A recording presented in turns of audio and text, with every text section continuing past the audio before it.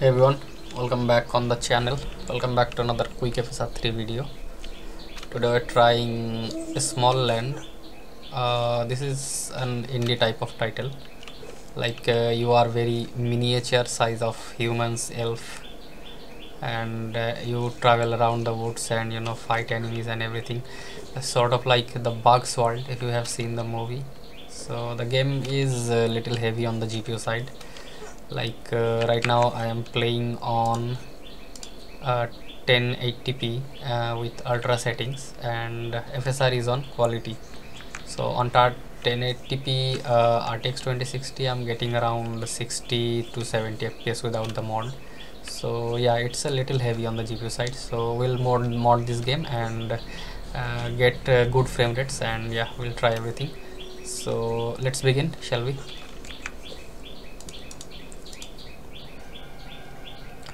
uh, first you will download this zip from the link in the description. Smalland fsr3 stable. Extract it to the directory. Then we're gonna copy everything inside. Then we're gonna paste these uh, files into the installation folder of a Smalland. So Smalland after that you go to Smalland again. Then go to binaries win64 and where the win64 shipping is .exe is located we're gonna paste everything here. Now we're gonna run the game from here once and when the cmd command prompt box opens we're gonna close that very quick and we're gonna edit the fsr2 fsr3 config. So yeah double click close the box and now the config file has appeared. We're gonna open it with notepad. We're gonna go to the fake nvidia gpu part select the false uh, delete it write it true click on file click on save. Now close the file. And now we run the game and speed up the video.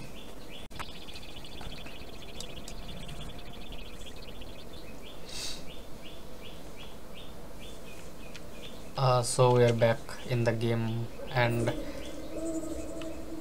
the FPS is not yet boosted because uh, we have not turned on the DLSS yet. So we're gonna go to setting graphics gonna turn the FSR off and we're gonna turn the DLSS to quality or whichever you uh, prefer. So yeah we're gonna set this to quality for now and come back to the game and you can see that the FPS is boosting. Uh, there is the HUD glitching issue still exist. So if you are uh, like uh, having the HUD glitching issue try to minimize the HUD options uh, by setting uh, and you can enjoy like a good frame rate with without like these kinds of uh, annoying HUDs. And yeah uh, so yeah i'm gonna play the game around a bit.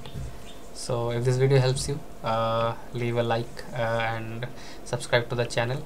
And if you face any kind of issue comment down below.